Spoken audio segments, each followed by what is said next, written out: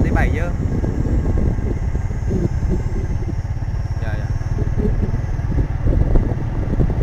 Vài năm nữa ở đây tháo không mà đẹp.